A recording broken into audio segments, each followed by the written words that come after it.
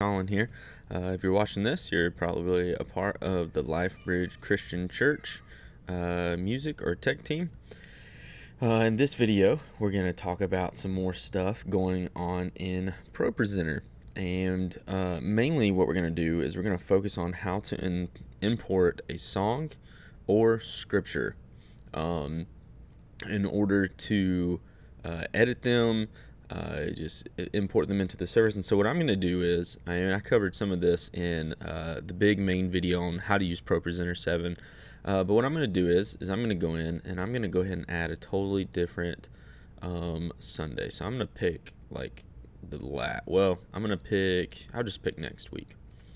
Um, so uh, we have a, a completely blank slate here. And so the first thing I want to do is show you how to import uh, scripture um, and how to use that. And so, uh, again, just kind of a recap. We have over to the left, we have presentations, and right now nothing's in there. We have scripture, nothing's in there. We have sermon, uh, so that's all the stuff in there. Service, service elements, uh, Christmas songs, uh, traditional hymns, and Sunday songs, and those are all of our libraries. And so right now, I'm actually going to delete presentations because we don't use that right now. Um, so we have scripture. So what you have to do is up here at this top right here. So you have show, and that's where the main, you know, the main thing is. It's shown on the screen. Uh, you have edit, um, and if we had anything in here, it would pop up and it would allow us to start editing it. You have reflow. We like never use that. I'm not even like totally sure um, exactly how it works. I know you can, um, if there's things in here, you can kind of like uh, rearrange them a little bit. Uh, but what we want to do is click on Bible. And so we use um, anything, it comes with King James Version, but we use the Christian Standard, English Standard, and the New American Standard Version. So let's just, um, let's just look up Psalm 122, verse 1. So the first thing is going to pop up is this, and it gives you your, um, your preview over here um, so you can see it. Let's actually, yeah, let's get that to where it's a little bit bigger. Um, so you can see that here, and that's the theme we have. Now you can change the theme, and the theme is like how is the the slide organized. And so what you would do that is you would click on options, and so this gives you so this Bible here just shows that hey this is all the Bibles we have. There's a couple free options, but they're all like kind of random ones. Um, so uh, you would show verse numbers. Um, we can do break on new verse if we'd like, um, you know, verse references, passage, all those different things. Um, but ultimately, uh, you would click on theme. Well, there we go. Theme, and then there's a couple of different options for just, you know, you can go through all these different ones. And so, for instance, you know, you could go to, let's see, um, clouds. You could say, okay, scripture quote. I want that to look like clouds. The problem about that is is we don't have that graphic or that media loaded in here, but it will um, assign it to look like this. And so we can go back to it. And same thing, like forest, we can click on forest. And nothing's there because uh, it is not, uh, we don't have that media here. Um, so another thing we can do, um, and this is kind of the one I typically use, is we go to lyrics lyric styles. Um, there we go. And I usually go through one of these, and it usually tends to be one of these that ends up looking okay. There's a couple different options. Um, actually, I think it was this one. I'm not actually sure which one I was using before, but but this is just a couple different themes, and you can actually create your new your own theme. I'll do that in another video because um, that can get a little confusing. Um, but these are all the themes we use. So you know, let's say that scripture quote right there. Okay, you know that's fine. Um, I'm not exactly sure which one I had it on originally, but yeah, so these are a couple different options that you can use. Um, but uh, if you don't have that media um, behind you, it won't, or behind it, it won't show that. Um, it'll just, it'll just uh, show the um, this style right here. You know the way it changes in formats formats. That's the word I was looking for.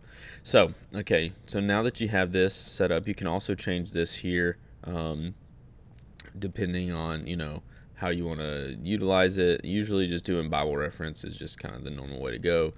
Um, you know, background image, you can change different things. Usually Bible text is, you know, just the way it looks best. Uh, but again, remember options. You can change the theme. Uh, that is how we would utilize that. Um, so the next thing you want to do is, uh, you know, this is different than importing a song. Is you have to go down here to the bottom left, click Save As. And so what you're going to do is, is you're going to click Save As. And because right here, if you noticed it, in Options, uh, the import library is set to Scripture. Once you hit Save As, it's and it's because we're clicked on it right here already. It should just pop up. It may take a second. There we go. Boom. So it's right there. Um, so now that you're done editing, whatever, maybe you have a couple different scriptures you want to add in, whatever you got to do. Once you're done doing that, you're going to click back on Show, and you're going to go to June 20th, and let's just pretend that song two is, or let's go to, um, yeah, let's just pretend that song two uh, is, is scripture instead of an actual song. And so you would go back to that scripture, you would click on it. And so remember this because if you just click on it, it just pulls you right back to the source. So what you would have to do, and we try to avoid this, is you'd have to click on June 20th again, go back to song two, go back to scripture, and then what you want to do is you want to click, hold down, and drag over. So boom. Now you can edit it like any other slide. You can go to edit here, and you know you can do whatever you want to do. Um, then you could you know you can quick edit with right click, and you know same thing. Um, so that is just the easiest way uh, to import scripture into a service. Um, you know, you can, this is a more complicated way, I even hesitate to kind of tell you. But um, if you, you know, for some reason weren't able to get it, um, we can delete that. So if we were to go to Bible and we say, okay, I got that right, you could copy it and then you could like make it into a presentation somewhere, but that would just get really complicated. And I think just going to save as, clicking that, boom, there it is, and then going back and, and dragging it where it needs to be. I think that's just the easiest thing to do. Um, so again, you know, if song two was that, you would drag it over, boom. Um, the next thing I want to talk to you about um, before we get to the song um, editing and how to import a song is uh, I want to talk about uh, how to what I'm actually going to do is I'm going to stop and I'm going to I'm going to make this a totally separate video. Um, so what you have now is the how to uh, import the scripture. Uh, I don't want to go too far ahead and mess you up. So what I'm going to do is we've we've learned how to import scripture. So the next thing we'll learn how to do real quick is to import a song. And again, I kind of covered this on um, on the other video, but I want to go a little more in depth here. So don't get confused. We're going to kind of take a step back and I want to show you how to import a song. So what you're going to do is you'll come up to File and you'll see Import. And so you can import a lot of things. You can import a file, you can import even a PowerPoint, um, even media. I'll show you how to do that. I'll show you how to import media two different ways um, a, you know, a totally different ProPresenter library. But what we want to do is use Song Select, and Song Select is what we use to license all of the music that we use on Sunday mornings or any other service. So you're going to click that, and if it's as long as it's logged into it, and it should stay logged in, it's going to give you an option to pull up, um, so, you know, to literally just be able to search song, Select. song select, song select. Wow. Um, so what we're going to do is, is I'm just going to pick a random song. Run to the Father. Oop. Well, it did pull it up, but run to the Father. And I'm going to look through this and I'm going to say, okay, that, none of those are that. Okay, there it is right there. I know who wrote it. I knew had part of it. Yep, that's part of the scripture. So I'm going to click import. It's going to pull up this new um, this new kind of options editing thing. And so the same thing as we had. So they should always be 1920 by 1080. That's the standard size we use for everything. But then you have this option for clicking and picking all these different themes. And typically I try to use a similar theme. They're all with lyric styles and lines. I try to use those because some of the other ones just end up looking a little weird, just depending on the one. Um, but since we're going to delete the song, I will just use a totally different one this time. So I'll just use outline text. I have no idea what that looks like. But then slides delimited by line break, two delimiters per slide. So that just means that typically two um, sets of uh, lines are going to be on each slide. Um, we want to make sure, unless it's one of these other things, we want to save it into Sunday Songs. We're going to click Import. And it's going to automatically pull us up. That looks kind of cool, kind of different. Um, it's going to automatically pull us up and it's going to automatically default to whatever kind of flow the song says it'll have. And so before I do anything, the first thing I do in a song uh, when I get it here, and this this song evidently has a lot going on, um, is I go through, I click the bottom, and I will go to presentation, and I'll click new slide because I like having the last slide blank, um, and I'll explain that a little bit more in the media video. So then I'll kind of go through and um, and sometimes I forget to do it. And so if you ever are going through and you see, okay, um, you know there there's a lyric missing, uh, the way you would do that is you would you would make sure you clicked on that, go to edit, and then you're gonna double click on everything and make sure that there's not any lyrics hiding. And so this song probably isn't gonna do it. But if you click, sometimes what will happen is you'll notice a line will pop up and you'll be missing some lyrics because it won't all fit within this this uh, rectangle. So let's just pretend that's what it's, it's doing. So what you would do is it would it, the words would like pop up out of. I'll just you know I'll just show you. Um, I will add in my own words. So, all right. so now you see. So when you click off of it, that's all you see. So when you click on it again, boom. Oh, okay, there's all the lyrics. So the way to fix that, once you um, you know find out where it's at, is you go to no text scaling right here, and you fit container to text, and then that'll do it. That fixes it right then and there. And so um, that is uh, the easy way to kind of work through that. Um, so once you have the song imported and you kind of went through and tried to check it out, um, what I do is for instance like OOOs and interludes and things like that. We don't we don't need that. So I'll go through and I'll click on them and I know that this stuff right here is ad lib, so I'm just like, okay, I'm gonna I'm gonna delete that out.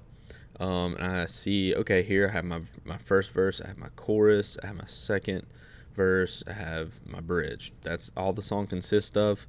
And typically, just for me personally, I like to leave them as they are um, as long as they're not too complicated. So, for instance, like I like to know, okay, this is is this is the verse um, that's here, and it's gonna pull me to the verse. And then uh, if you just saw that A pop up, that's actually a hotkey, and so you can actually use these hotkeys once you remember them to get you uh, back and forth through the song. And um, it depends on what song is set up like what, because some of them have different um, different hotkeys. Like for instance, if we go back to like this this week's song and we click on it, um, they typically will have like A for verse one, chorus for chorus, S for um, the second verse, um, and then B for bridge. But some of them may be a little different. So let's scroll down to the next one that may. Let's see if we can find anything that has a third.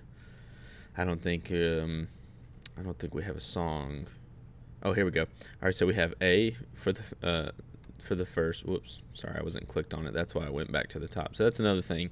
If you use hotkeys, you got to make sure you're actually clicked on where you're at. So, um, so S for the second verse. Then we have D for the third verse, and F for the fourth, and then E for the ending.